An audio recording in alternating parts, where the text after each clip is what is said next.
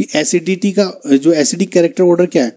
Methane का सबसे less फिर एल्कीन हो जाएगा देन अमोनिया देन एल्काइन बताया था ना आपको गाइस एल, एल्काइन हो गया।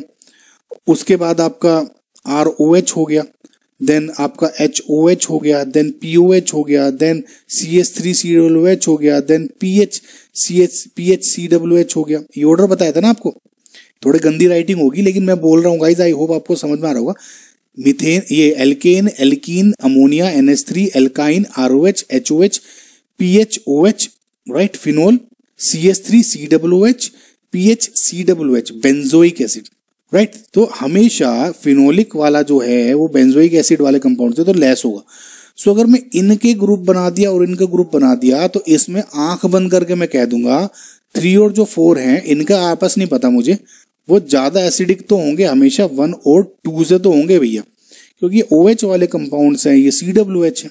अब मैं आपस में ऑर्डर डिसाइड कर दूँगा मुझे ज़्यादा खींचना ही नहीं है। आप वैसे इनसे भी कंपेयर करके देख सकते हैं कि कौन ज़्यादा स्टेबल आ रहा है, लेकिन मैं भी डायरेक्ट आंसर निकाल रहा हूँ, ताकि थोड़ा कंपेरिजन जल्दी भी जल्दी भी हो जाए क्वेश्चन देखिए, इन दोनों में देखिए, ये बेंजोइक एसिड है, ये इसमें मैंने सी एस थ्री जाड़ दिया, यानी प्लस आई अफेक्ट थोड़ा कम पड़ रहा होगा, लेकिन फिर भी भाई एक्टिवेटिंग तो है ना ईडीजी e ग्रुप हो गया। तो ये इसका base acidic character sorry decrease कर रहा है बेसिसिटी बढ़ा रहा है, भाई इलेक्ट्रॉन पुश कर रहा है ना रिंग में। तो क्या हो जाएगा थर्ड और फोर्थ में थर्ड ज़्यादा एसिडिक होगा देन फोर्थ ऑब्वियसली समझ में आ गया।